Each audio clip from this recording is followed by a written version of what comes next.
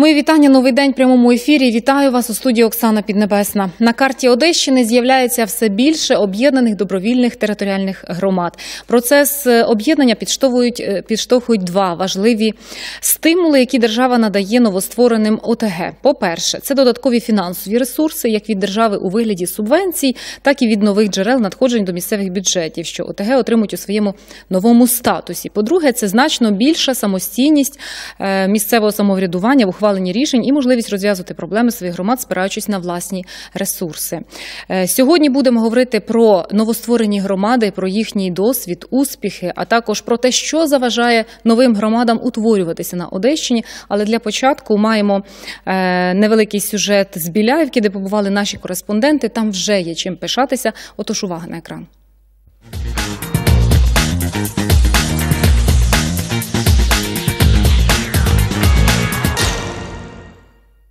Децентралізація за складне слово для пересічного українця. Саме так називається нова реформа Кабміну, яка триває уже два роки. Децентралізація в даному випадку означає об'єднання громад. Суть реформи в тому, що податки селян не йдуть до Києва, а залишаються на місцях. Для простих селян це означає відбудову селищних рад, клубів, лікарень та інших споруд місцевого значення, покращення якості надання соціальних та адміністративних послуг. Утворені громади уже мають що показати тим, хто тільки збирається об'єднуватися. Так, нещодавно до Біляївської об'єднаної громади завітала делегація із представників новоутворених громад з Миколаївської області. Реформа децентралізації не оминула й дитячий садочок. Будівництво цього дитсадка затягнулося на роки, і тільки завдяки об'єднанню громад вдалося його добудувати. Ми працюємо всього два роки е, по новим вимогам, по новим стандартам. Все, що сьогодні вимагає інструкція, що повинно в дитячому садку бути, воно в нас є. Музичний зал, спортивний зал, харчоблок е, складається із шести приміщень. Є кімната практичного психолога. Українську світлину ми облаштовуємо, щоб дітей знайомить е, з народними традиціями. Цілий двохповерховий візит-центр зведено у рамках програми сусідства Румунія Україна. Тут можна взяти на прокат туристичний інвентар, отримати інформацію про туристичні можливості громади та краю, об'єкти туристичної інфраструктури, можливості розміщення та харчування, а також весь перелік туристичних послуг. Відремонтованими дорогами можна доїхати від Біляївки до селища Повстанське. У цьому маленькому селищі вже створено ОСББ, демонтовано аварійні будівлі колишнього табору праці, відпочинку та колишню їдальню. Відбувається реконструкція шкільного приміщення. Раніше тут, звичайно, таке трошки було, ну, як сільські всі такі будівлі, старенькі, страшненькі. Е, Ось до вересня місяця е, міська рада нам зробила отакий от подарунок, дуже гарне приміщення. Згідно зі звітом старости села, велика увага в майорах приділяється чистоті. В селі працює двірник та озеленювач. На місці колишніх звалищ зроблені бетонні майданчики під контейнери для вивозу сміття. Люди не почувствовали разницу между сельским советом и объединенной громаде. Нині новоутворені громади прозорі для преси та діляться своїм досвідом із тими, хто ще вагається.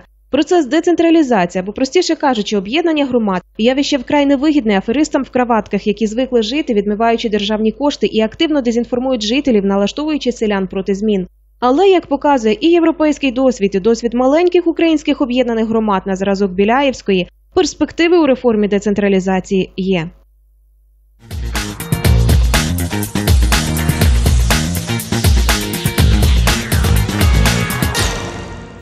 Отож, утворення добровільних територіальних громад. Сьогодні про це будемо говорити з нашим експертом Юрієм Ковой, консультант з правових питань Одеської Одеського регіонального відділу Асоціації міст України. Я вас вітаю.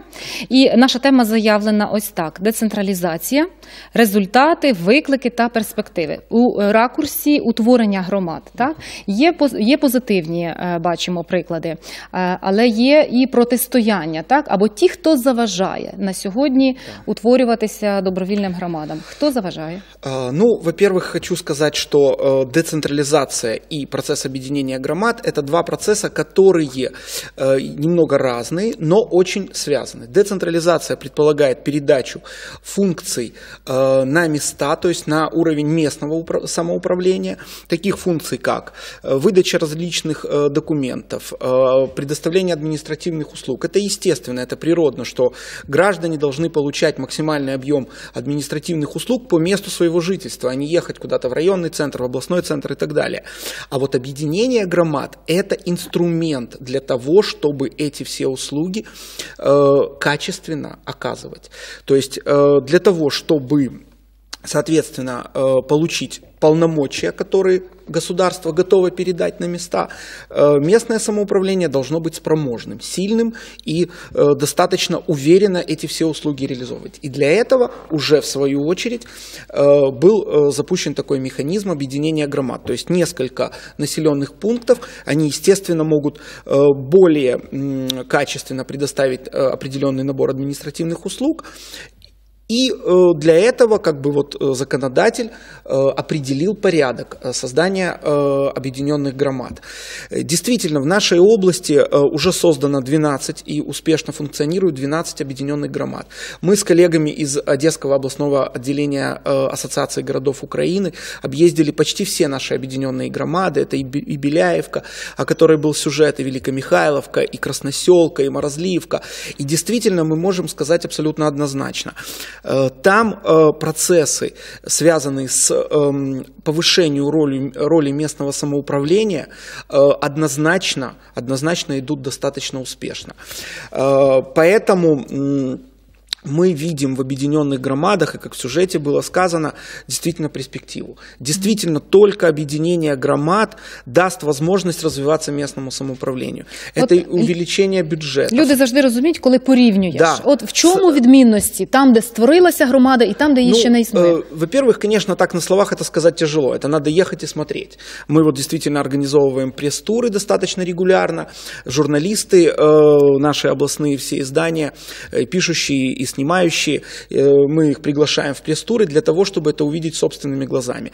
Знаете, э, руководители объединенных громад, они действительно, они искренне гордятся теми успехами, которые у них произошли за буквально два года, потому что ну, вот первые территориальные объединенные громады были созданы в 2015 году. Еще, еще двух лет не прошло, они уже действительно видны, абсолютно ярко видны успехи. Где-то построили школу, где-то отремонтировали дом культуры. Вот мы были в Майорах, это небольшое село в Беляевском районе, которое объединил, объединилось с Беляевкой. Значит, дом культуры уровня, ну, скажем так, абсолютно нормального уровня Э, кинотеатра в городе Одессе, например, мягкие кресла, видно, что сделан свежий ремонт, э, проведено отопление, а там э, выступали очень колоритные ансамбли, да, и танцевальные, и вокальные, и знаете, вот женщины, пожилые женщины, которые занимаются вот, ну вот вокальными, так сказать, у них кружок такой вокальный, э, такие как в национальных костюмах, все это очень выглядит здорово. Они говорят, что 40 лет этот дом культуры э, не было отопления. Не было отопления, они там новогодние какие-то проводили мероприятия, все были там в шубах, в куртках и так да. далее. Это видно, это видно, ну, как бы вообще, ну вот знаете, вот просто вот было так, стало так.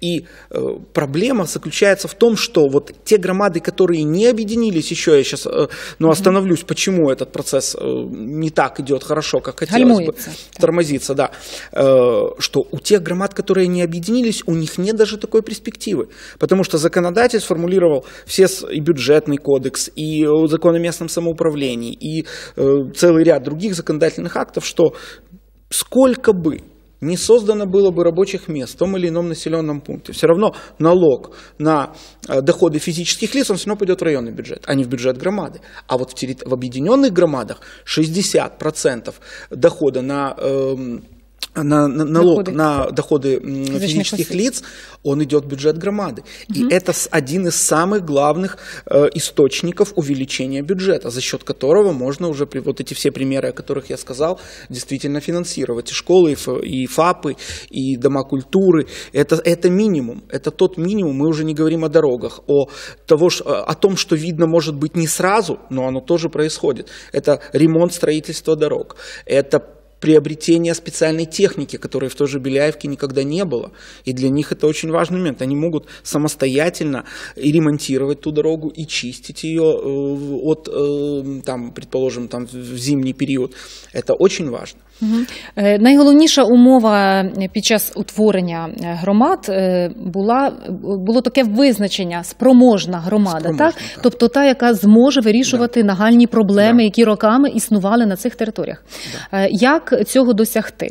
Тому що є проблемні питання. Наприклад, село з більш-менш гідним бюджетом не хоче об'єднуватися з селом, яке поряд, воно бідне, і кажуть, ми не хочемо ділитися своїми коштами, і тому гальмується цей процес. Ну, Як переконати? Да, вот это один из мифов, э, которые вот действительно на пути объединения громад, э, что богатая объединяется с бедным, и богатая вынуждена будет э, ну, как бы содержать это бедное село. Вот пример Беляевки, Майоров и Повстанского показывает, что это абсолютно не так.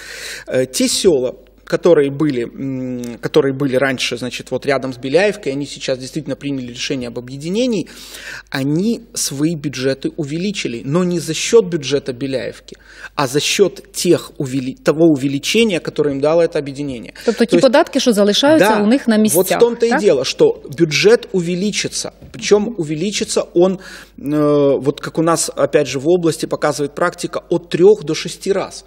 Это серьезное увеличение бюджета.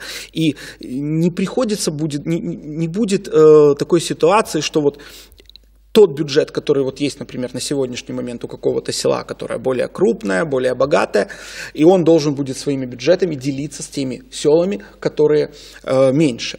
Во-первых, бюджеты увеличатся. Это даст возможность развиваться и этим селам, и этим селам. Во-вторых, э, у них появится перспектива развития за счет объединения. Увеличивается э, территория. И самое главное, что вопросы, связанные с насущной реализацией э, местного самоуправления, полностью переходят в ведение территориальной громады. То есть это и поиск, и привлечение инвесторов, которые в другом формате никак э, не происходит, потому что все решается, так скажем, на уровне районных властей, на уровне областных властей. Тут огромное количество полномочий передается на места, возможность предоставлять административные услуги и, соответственно, тоже э, получать определенный доход в бюджет. Э, поэтому, кроме этого, как одним из таких запобежников, чтобы не было м, перекоса в бюджетах, есть э, юридические механизмы. Это э, подготовка и принятие э, уставов территориальных громад, где бы четко было прописано все э, вопросы, связанные с распределением бюджета. Тобто По може бути такому пути- справедливий коефіцієнт. Да, Наприклад, по такому- ось це село Да. дає 30% Да, до загального да, да. бюджету, а це 50%. І я вам От за скажу- цими е, коефіцієнтами Да, и виділяються я вам гроші. скажу, что вот именно такой, такой механизм реализован в Великомихайловской объединенной громаде. И мы там были и интересовались в селах, которые вошли в состав, стало лучше. Причем интересовались у жителей. Они говорят однозначно. Так. Вот пример очень простой, что э, такого понятия, как уличное об- освещение там в, Ново- в Новоселовке, там вообще такого даже представить не могли. На сегодняшний момент там уже заканчивается э, проц- ну, процесс э, м, уличного, осве- ну, подготовка уличного освещения. Великомихайловку полностью всю уже покрыли как бы э, вот этим. Это, это, это важно для сел. Это Е, важно. Пане Юрію, а от скажіть, якщо, наприклад, а, якесь село, яке не увійшло в громаду, е, зараз побачить реальні успіхи тієї новоствореної громади і захоче ось зараз приєднатися, Да. це можливо Да, юридично? это возможно наконец-то стало, потому что законодатель вот буквально недавно, это было в марте, в апреле месяце, принял изменения в закон об добровольном объединении громад и предусмотрел, что процесс присоединения уже к созданной громаде будет проходить по более оп- э, упрощенной процедуре. То есть не нужны будут уже выборы, как предполагалось ранее, и это многих, так сказать, немножечко смущало.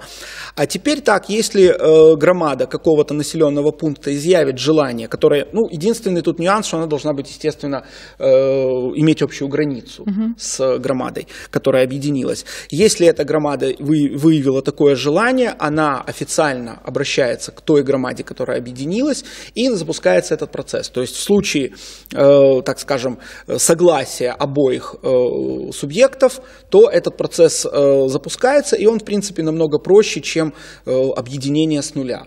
Присоединяется громада, получает все те же преференции, получает объединенная громада дополнительную бюджетную субвенцию, исходя из того количества э, населения, которое присоединилось, и они начинают уже как бы функционировать в режиме объединенной громады. Е, Пане Юрію, от е, таке запитання. Е, Чи не здається вам, що 12 громад на е, в Одеській області це катастрофічно мало за три Да, роки? Это немного.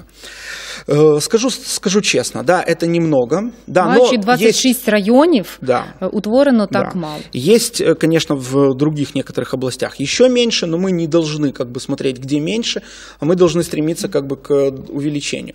К сожалению, на сегодняшний момент скажу такую вещь, да, вот уже объездив практически всю область, мы вот с коллегами-консультантами э, проводим инфопункты, выездные консультации в очень многих громадах. Скажу так, что вот те громады, которые на сегодняшний момент объединились, это 12, их 12, плюс на э, этапе уже завершения э, процессов объединения еще три громады, назвіть? Э, назову. Это громада э, Доброславская, объединенная громада. Они уже э, готовы подавать документы для э, в, адми- в областную державную администрацию. Это Шапская громада.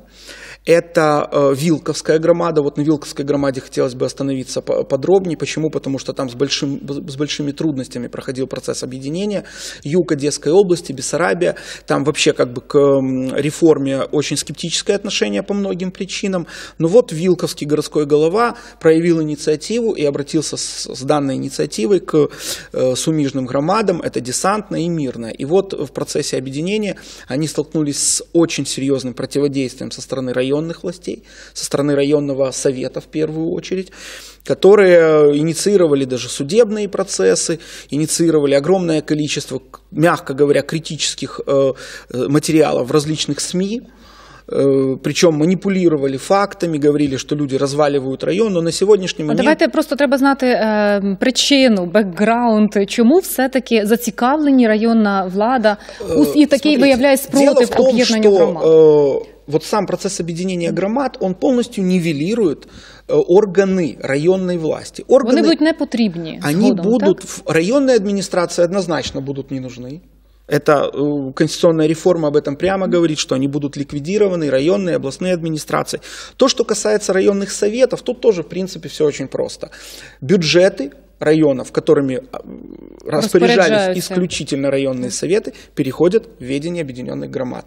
И это, соответственно, А вопрос- депутати не це не хочу. Это, не, это, это, если районные депутаты, это еще вопрос такой, как бы э, спорный, там кто-то хочет, кто-то не хочет. Но вот руководство районов, а- районных советов, которые и распоряжаются напрямую как бы всеми бюджетными э, финансами, В принципе, да, они, конечно, не хотят. Конечно, есть примеры и обратные. Вот я могу назвать Беляевский район, голова Беляевского районного совета, он, он за реформу, он поддерживает ее, и Беляевка в этом плане, как бы, да, молодцы. И э, вот председатель Ивановского районного совета тоже достаточно активно м, поддерживает реформу Сприяет. и, да, помогает в, в определенных процессах. И это как раз именно в этих районах, и мы наблюдаем как бы рост э, объединенных громад. Э, Я еще забыл сказать про Маякскую объединенную громаду, которая ждет выборов. Она просто объединит э, между... Она, Вона вже объединяет- подала всі документи. так? все документы, они уже в избирательной комиссии довольно давно. Опять же, юридических не было оснований, но сейчас опять законодатель изменил немножко закон о выборах, разреш... э, о выборах, о объединенных громадах и позволил объединяться уже официально абсолютно громадам, которые находятся в разных районах. И это будет у нас, вот если будут там объявлены выборы и они пройдут, это будет первый случай, когда на территории двух районов, и это лишний раз доказывает, что и районные советы, и районные администрации, они никак не влияют на деятельность и э, На все життя процессы громади. да, Так. в жизни громады. Е, Об'єднанню територіальних громад в процесі реформи децентралізації заважає брак об'єктивної інформації і Безусловно. недовіра громадян. Безусловно. У нас є приклад холодної балки, де досить довго триває обговорення і ні до чого е, там е, не, не дійшли. Е, Там про- обговорення взагалі не проводиться, хоча е, сільські депутати вважають, що вони опитують своїх громадян. І е, е, в нас є невеликий сюжет. Це правда, щоправда, з. Минулої осені, але там ситуація зберігається така да. і зараз. От давайте переглянемо, е, що відбувається в холодній балці.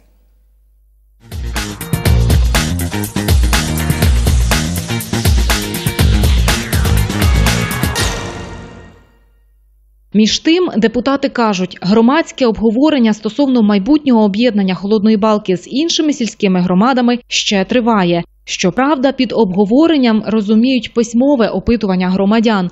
показують ось такі папірці, які кожному мешканцю села пропонують заповнити депутати. Громадські слухання ще продовжуються, тому що це я теж вважаю, що це дуже відповідальне рішення. Мені принесли просто листок, передали через кого-то. І напис... там написано да или нет. І все, задачно или нет. Все. А слухання ніякого не було, ніхто нічого не говорив. Я, Ну, у наприклад, нас не був знаю, Міщенко, він не міг два слова сказати. що нам предлагає Дачна і що нам предлагає Нерубальськ. І який в кого бюджет. Не згоден з проведенням письмового опитування і дехто з депутатів. Я як депутат вважаю, що це не анкетування, це є в своєму роді агітація. Як я, як депутат, преподнесу для своїх мешканців, так воно і буде. Правильно, Громада є не в обіду, але є люди не образовані, неграмотні люди. Вони ж вас обирали, вони вам Світлана довіряють. Івановна, я Ви сейчас зараз сама про не що гра- ви зараз говорите? Светлана Ивановна, я сама некомпетентна в этом вопросе. Да вообще Как при- мало в чем, в чем компетентно. Вопрос, Ну, главное, что Глеб компетентен. я, бы, я бы хотел просто внести, внести пояснение. Снимай. Вопрос в том, что если э, проводить так, как э, говорят жители, что нужно проводить общие сборы, то мы должны отнестись к закону Украины о загальных громадских сборах за местом э, проживания, который указывает прямую норму, что на такие сборы должно быть собрано 50% на- населения плюс один человек. В нашем случае, где у нас э, приписано 3,5 тысячи населения, нужно каким-то образом где-то собрать полторы тысячи населения. Это сделать невозможно, не, нереально. Почему это и невозможно? это, ну, это нужен Это какой-то можно какой-то во дворе стадион. школы собрать, люди Э, сошлись, Во дворе и школы долго не- говорить. невозможно провести нормальное с- прослушивание, где будет проводиться протокол, будет вестись, где будут раз- размещены люди, где будут сидеть люди пожилого возраста, и чтобы они все, все, все сидели. У вас есть желание оклеветать всех и охаять. А у нас есть, есть желание при- привести работу, которая будет соответствовать работе. Работа э, при закрытых и- дверях. При закритих дверях Я теж за те, щоб е, зібрати е, сходку села і к- щоб приїхав е, Дачнянський голова, з Нерубальська голова приїхав і розказав, які перспективи у села є з Дачним і які перспективи є села е, з Нірубайським. Тому що моє мнення це моє мнення, як депутат прийде до кожного хату, так він в принципі зможе убідити.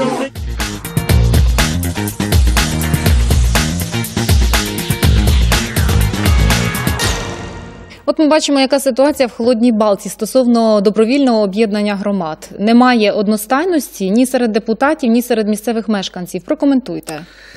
Значит, э, конечно, э, процесс, который э, называется объединение громад, базовым его принципом законодатель избрал добровольность.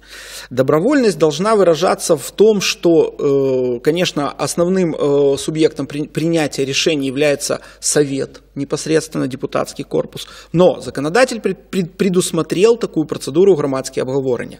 Скажу честно, что э, громадские обговорения, они никогда не могут учесть или не учесть все точки зрения. Понятно, что на любых э, слушаниях будут выступать люди, которые за, которые против. Но когда они подготовлены, когда они, как говорится, в теме и хоть что-то просчитали, это можно назвать хоть каким-то предметным обговорением. Пока мы видим, что э, чаще всего это превращается все в обмен какими-то личными э, претензиями и все остальное. Значит, то, что касается чисто юридического процесса, то тут все очень просто. Э, Каким образом будет проходить обговорение, решает непосредственно Рада.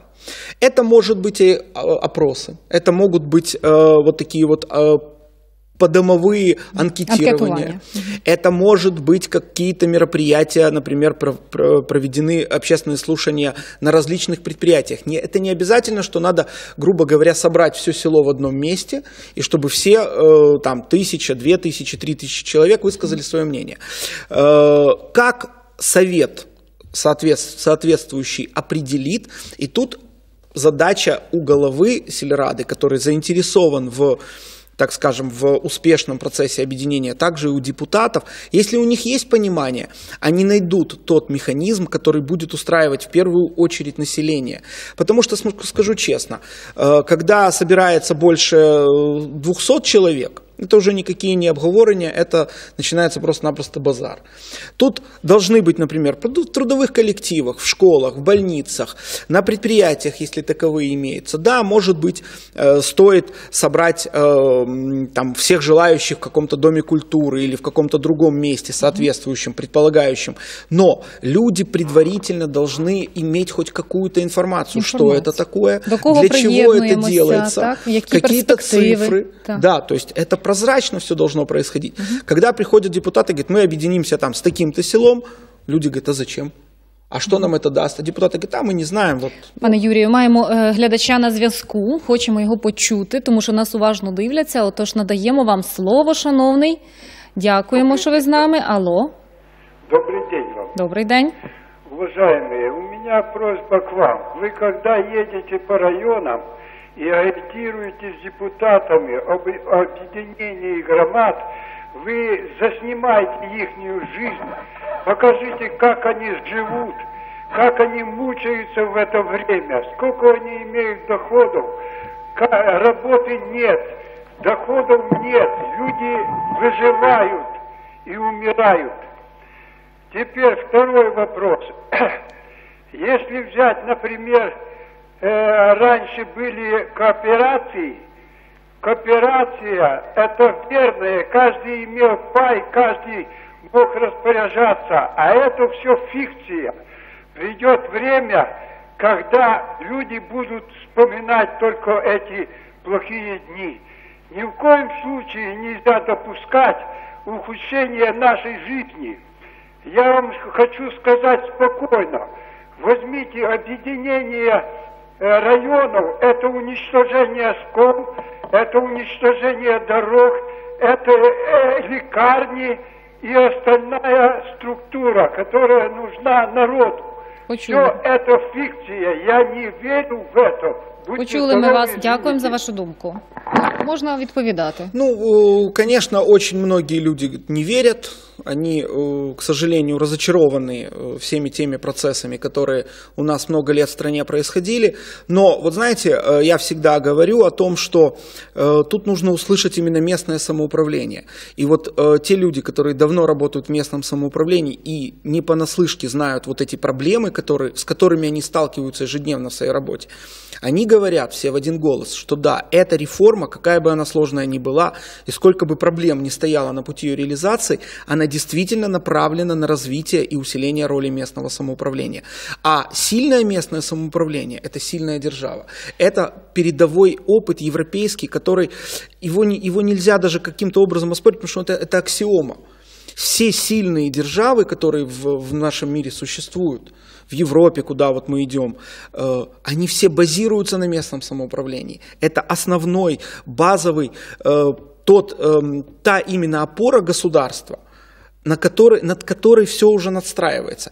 И вот знаете, вот сейчас вот э, недавно было э, День Конституции, э, и вот те реформы, которые на сегодняшний момент, вот конституционная реформа местного самоуправления, вы знаете, вот это один из самых важных, э, ну вот я считаю, что если это реализуется, понятно, еще раз повторюсь, да, много проблем, много нюансов с этим связанных, как, ну, как бы объективных, субъективных, и человеческий фактор очень часто не дает э, реализовать это в нормальном формате. Но э, я вижу, вот как э, человек, который тоже давно занимается и местным самоуправлением, и работал долго в органах местного самоуправления, и конституционным правом, конституционным процессом тоже как бы э, занимался, тоже не, не- не чужое это мне. Я в этом вижу перспективу. Так. И надеюсь, что люди тоже, вот те положительные примеры, которые у нас есть в объединенных громадах, они какой-то дадут толчок, э, отбросить эти личные амбиции и тоже пойти в этот процесс. А ми будемо більше про це розповідати. Для Обязательно. цього е, треба бувати в на місцях, виїжджати в райони. І е, зазначу нашому глядачу, що мова йде не про об'єднання районів, а, А, про об'єднання об'єднання громад. сіл, громад Да. в єдину громаду, яка е, мінує е, районну раду, райадміністрацію і е, вертикаль влади, яка розпорошує кошти навпаки, напряму отримує їх, акумулює в себе і може бути спроможною. Мені дуже в- подобається вислів е, міцна, де- міцна громада, сильна держава, чи навпаки. Це, Міцна це є громада, тотожність. Міцна Так. держава, да, это абсолютно яркий принцип, который реализован, реализован в, почти во всех странах э, мира, да, и в Европе, и в Северной Америке, и вот даже в Южной. Я дякую вам за цю розмову. Юрій Ямковой з нами був сьогодні, консультант з правових питань Одеського рай- районного регіонального відділу Асоціації міст України. Запрошую ще не раз до бесіди для того, щоб е, дуже цікаво поінформувати наших глядачів про те, на що вони можуть розраховувати, щоб е, жити заможніше. Ну а друга тема е, нового дня у нас сьогодні стосується дітей, а особливо захисту прав дітей. Ми будемо говорити з цікавим експертом. Залишайтеся з нами. Зустрінемося після сюжету.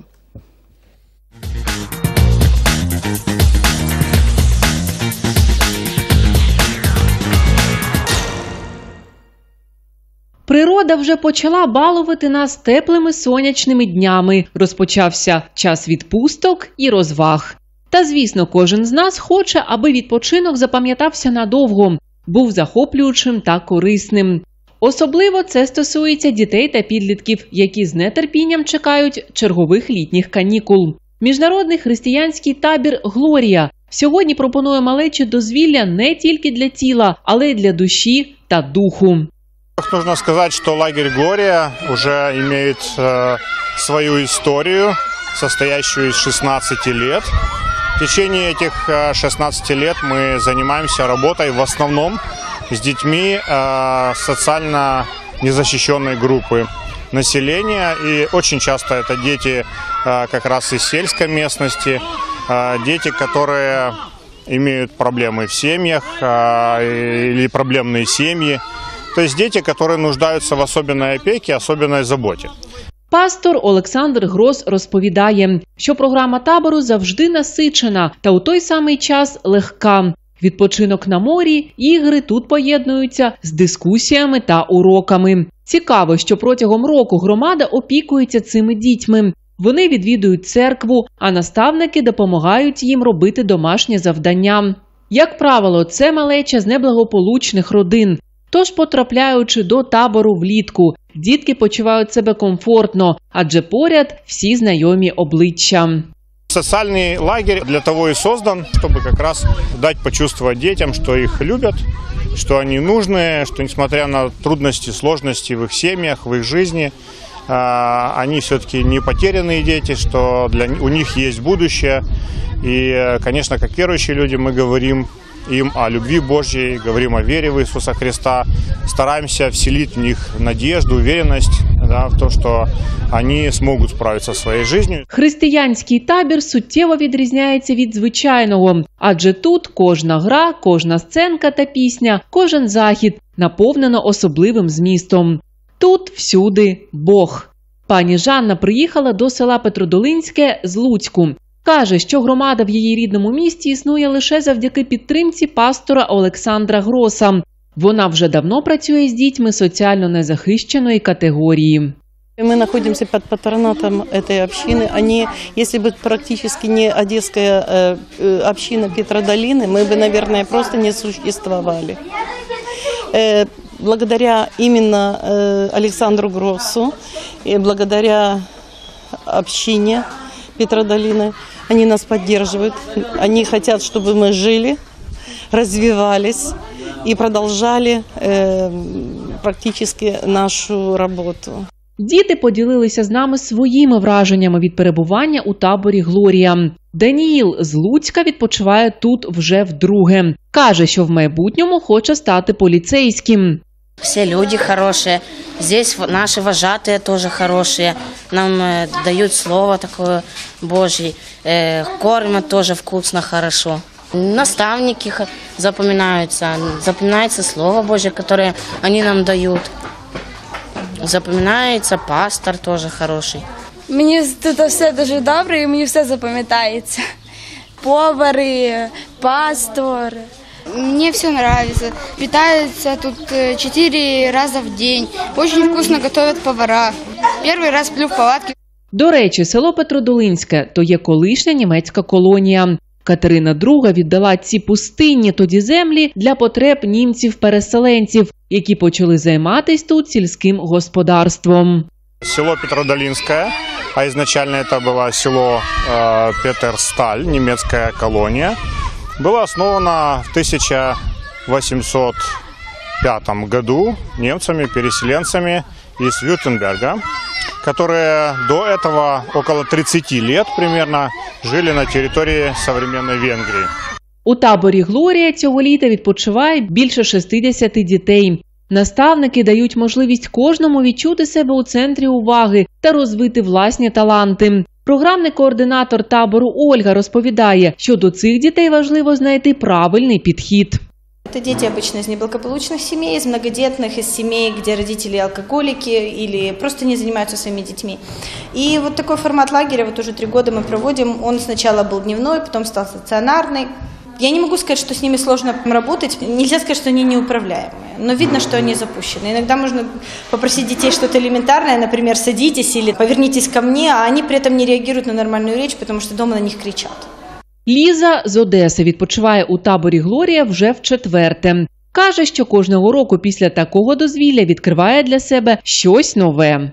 Каждым годом лагерь э, все больше усовершенствуется, он стает безумно интересным, и здесь всегда приятно проводить время с друзьями. У нас проводятся библейные уроки, на которые выделяется час, и мы достаточно узнаем о каком-то особенном событии или нас чему-то учат на этих уроках. Э, И мне кажется, что каждый из нас что-то берет для себя новое. Дуже важливо, на думку наставників, допомогти цим дітям подолати комплекси та позбутися слабких сторін. Лагерь рассчитан на одну неделю. И в течение этого времени мы стараемся э, вот как раз выявить в каждом ребенке какую-то слабую сторону, э, в которой э, нуждается в нашем особенном внимании. Да? То есть стеснительным детям мы стараемся помочь, почувствовать себя ну, как-то звездами, что ли, э, вытянуть их на сцену, дать им возможность проявить себя.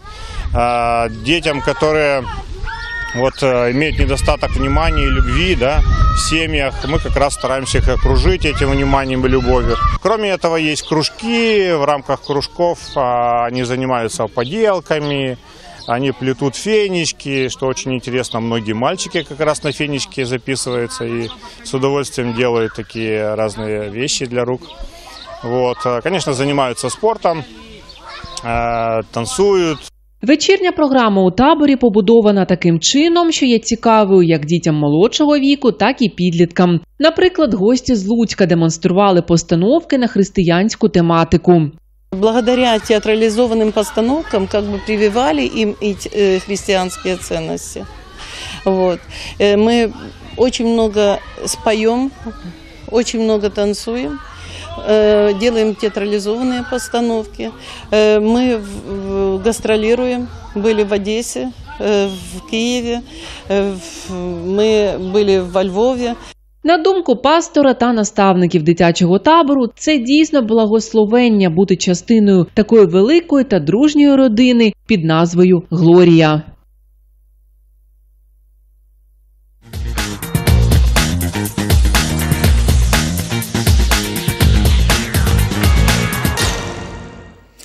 Літо кращий час для того, щоб приділити увагу своїй дитині і е, пояснити якомога більше про її права і свободи. Сьогодні ми будемо говорити про проект, який нещодавно запустився в Одесі із е, Антоном Гніденко, Гніденком, юристом, е, співзасновником громадської організації Офіс регіонального розвитку. Вітаю вас, Антоне. І найперше, давайте розкажемо, що це за проект, з ким ви зустрічаєтеся, куди е, ви їжджаєте. Знаю, що по області маєте е, тренінги. Так, і для чого власне цей проект запустився? Дякую за питання і за те, що запросили.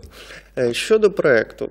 Проект е, спрямований на створення інституційних можливостей для того, щоб в області Одеській, зокрема, і тільки, е, це такий пілот, пілотний проект. Е, Хоча правозахистом е, дитячим і, зокрема, просвітництвом в цій сфері ми вже займалися, в тому числі працювали з окремими категоріями е, внутрішньопереміщених осіб, дітей, зокрема, робили виїзди і навчання для дітей Луганської і Донецької областей. Якщо говорити про суть цього проєкту, то свого часу ми, працюючи з дітьми, розуміли, що насправді рівень правової культури е, ну, фактично дуже низький, і е, ми для себе вибрали таку компенсуючу місію, адже в школах і в реально традиційних навчальних закладах дуже мало вчать дітей, а як поводити себе в реальному житті. А І- от що, що саме мається на увазі? Мається на увазі. Які моменти життя дитини? Е, Так, наприклад, е, банально право на освіту і як його реалізувати в Україні. Ну ясно, що дітям, е, які навчаються в школі, вже не цікаво, як реалізувати там своє право на дошкільну освіту, хоча це теж дуже містке е, поняття, яке. е, Ну і батьки, в тому числі в Україні, не розуміють. От а право на освіту, з яких компонентів воно складається, як його реалізувати, які є гарантії з боку держави і, зокрема, органів місцевого самоврядування. Ви говорили про громади. Е, В попередньому блоці. Е, І я згадав дуже такий е, гарний приклад. Свого часу я досліджував процес децентралізації і об'єднання громад в Естонії. Це ну, невеличка країна порівняно з Україною. Але там була така громада, і яка складалася із 100, люд... із 100 людей, е, членів цієї громади, і вони жили на одному острові. І там була сім'я, е, як одна сім'я, яка мала дітей. І от в цій громаді. е, Один хлопчик був маленький, там дошкільного віку, і дівчинка шкільного віку. І у громади не було школи. І отут е, виникає ну, от, децентралізація це не питання фінансів. Фінанси це всього-навсього ресурс для реалізації можливостей людей, які проживають в цій громаді, і їх прав, зокрема. А що таке право? Це правова можливість, яка або визначена в законі, або природньо існує. І от як вирішувала громада питання шкільної освіти? Цій дівчині оплачували, зокрема, е, ну, це був острів, да, човен, е, який її е, кожного дня доправляв на материкову частину. Е, Далі був автобус, який відвозив її до школи, і е, відповідна зворотня процедура кожного дня після е, навчання в школі. Тобто піклувалися конкретно Да. про одну Отак дитину. реалізовано право на освіту. Інший приклад. Е, Чи, чи є Україна доступною з точки зору реалізації прав? От в Конституції задекларовано, що у нас е, у всіх є рівні права е, і свободи. Да? Е, Чи є ми рівними? Ні. Люди не є рівними від природи, але е, держава існує для того, щоб забезпечити рівність можливостей, бо права це можливості. Свого часу, навчаючись також в Австрії на юрфакі е, в Віденському університеті, е, я прийшов на одну з лекцій і побачив е, унікальну картину. Да, коли на інвалідних візочках е, студенти е, приїхали, і перший ряд був повністю підлаштований з висувними столиками для того, щоб вони зайняли спокійне місце і слухали так само лекцію. Далі це ще не все. В, е, крім лектора, в залу, яка амфітеатром була влаштована зайшов сурдоперекладач. І всю лекцію він перекладав е, спеціальною мовою для людей з обмеженими можливостями і вадами слуху. Да, і оце е, правова держава, яка забезпечує рівність е, там, праві освіти, зокрема вищої освіти, для всіх е, там, жителів громади або студентів, які навчаються. Е, До такого рівня треба прагнути. Але е, будь-яка реформа е, не полягає в тому, щоб створити е, тільки інфраструктуру, побудувати школу, там, клуб, дитсадочок. Да? Е, Будь-яка реформа е, в першу чергу проводиться в інформаційному плані, і коли змі- змінюється логіка і мислення процесів, їх сприйняття. І от для цього треба розуміти, працювати, зокрема, з людьми, для того, щоб вони усвідомлювали, а які можливості є, і як вони мають реалізовуватись. Тільки тоді ці люди і не буде от таких випадків, як там нерозуміння на рівні громади. А для чого об'єднання? І депутати не можуть донести, скомунікувати з громадою. А коли люди це будуть розуміти. То вони будуть розуміти, які можливості відкриває цей процес. Для цього ми працюємо. Що ви пояснюєте? От ви зустрічаєтеся з ким? З дітками? Е, Зараз ми Що ви їм пояснюєте? Е, Насправді у нас буде декілька блоків. Е, У нас вже був один тренінг для дітей е, з першого блоку. Перший блок він охоплює по суті комунікацію і навчання прав прав, свобод і обов'язків, зокрема, тому що діти дуже часто не розуміють, а які є в них обов'язки. А обов'язки е, це безпосередньо такі можливості, е, які кореспондують тим же правам, да, і їх неухильно потрібно дотримуватися. Так от. Е, Перший блок спрямований на дітей, другий блок буде спрямований на їх батьків, тому що ми вважаємо, що якщо батьки не розуміють, а які ж права є у- дитини, у їх дитини, да, а які можливості є, то отут е, починається дуже серйозний розрив, навіть коли діти починають усвідомлювати комунікаційний розрив, нерозуміння і так далі. І окремий блок буде розрахований на педагогів, на викладачів і вихователів. Щодо дітей, то це, зокрема, е, діти е, шкільного віку. Насправді, е, якщо говорити про ідеальні права, да, які там е, по суті зафіксовані на конституційному рівні, на рівні Конституції, то Конституція України достатньо якби одна із найкращих в цьому е, східноєвропейському регіоні. Інше питання, чи вона Інше питання, да, чи є механізми імплементації. І от, наприклад, е, в усьому світі вже давно е, такі відомі і е, очевидні тренди це. Ну, часто в нас називається акселерацією, пришвидшений розвиток дитини.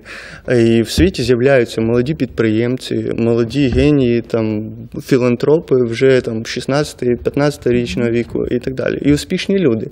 І навіть розвиток самих прав він досить динамічний. Держава не встигає, скажімо, на законодавчому на рівні. законодавчому рівні врегулювати. От е, нещодавно ми бачили там е, і чули, і думаю, ви про це говорили, про кібератаку так, на певні ресурси. І тут виникає, оскільки є проникнення, інтернет-проникнення, воно з'являється, люди, і в тому числі молоді діти, е, отримують можливість до гаджетів, е, там, е, мати доступ до інтернету, да, то в Європейському Союзі вже давно є врегульованим право на інтернет.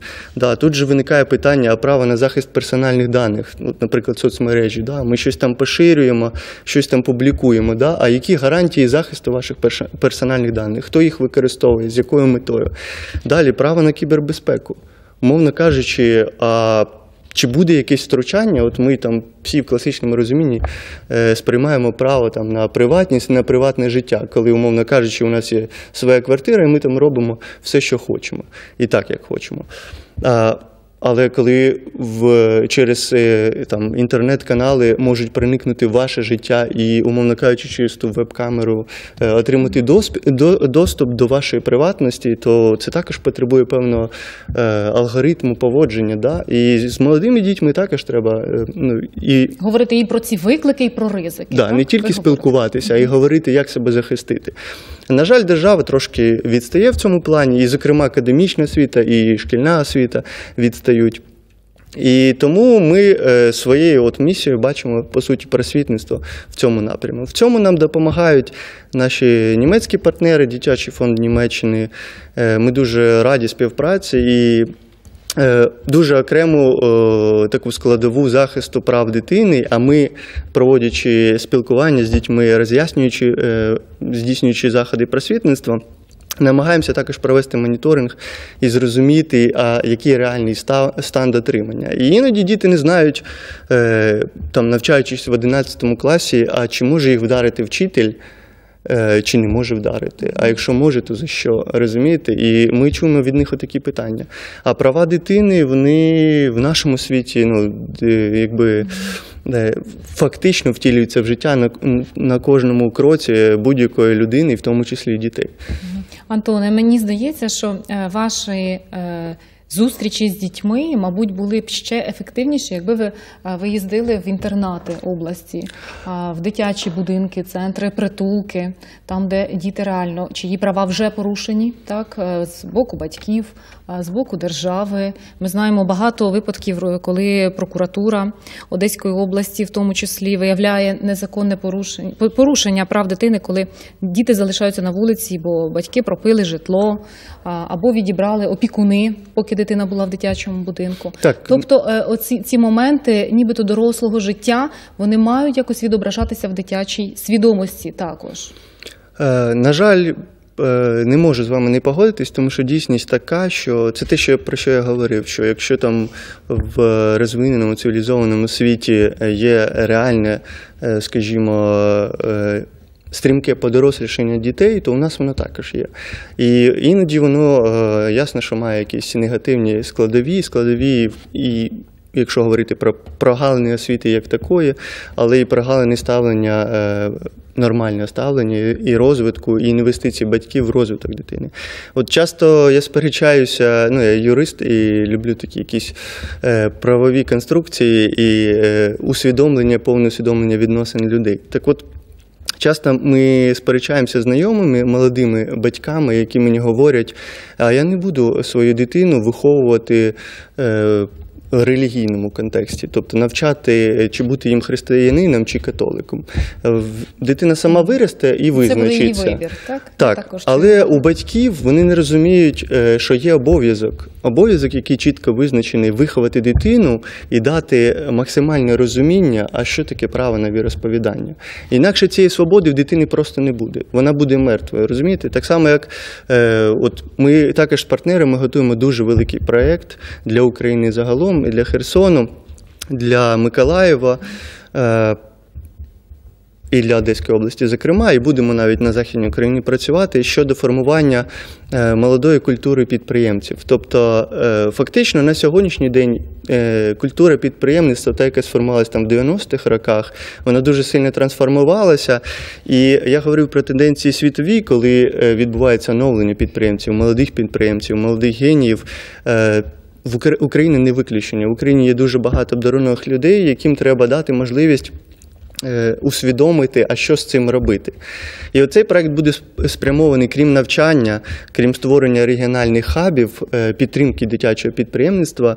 е, Ми ще хочемо спробувати імплементувати в Україні досвід німецький. Це створення е, учнівських кампаній, тобто бізнесу, реального бізнесу, і надання повного менторства, е, наставництва, консультаційної підтримки цього бізнесу. І тому що ну, у нас законодавчо врегульовано, що з 16 років там е, дитина має право на здійснення підприємницької діяльності.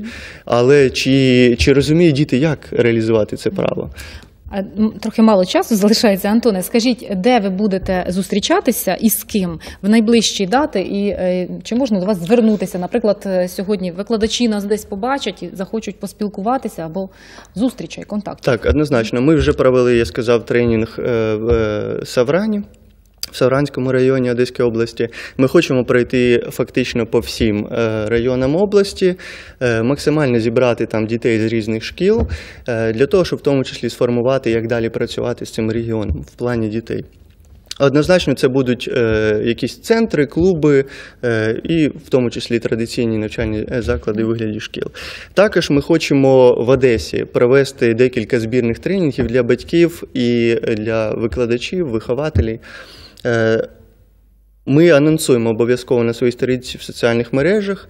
Е, Також будемо робити розсилки для дітей е, і, і для дорослих, і для ЗМІ, зокрема щодо Багато цікавого. Обіцяю, що ми долучимося, бо хочемо більше інформації і Дякую. користі розказати про це нашим глядачам. Офіс регіонального розвитку. Так можна шукати Так. інформацію на е, Там будуть всі вашому анонси наших ресурсі. подій.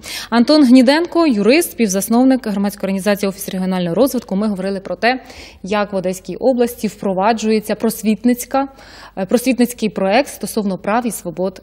Дитини, дякую за розмову і дякую, Дякую. всім, хто був з нами сьогодні впродовж прямого ефіру. Будьмо активними, активними і не забуваємо, що зараз літо і можна приділити більше уваги своїм діткам. Будьте щасливі!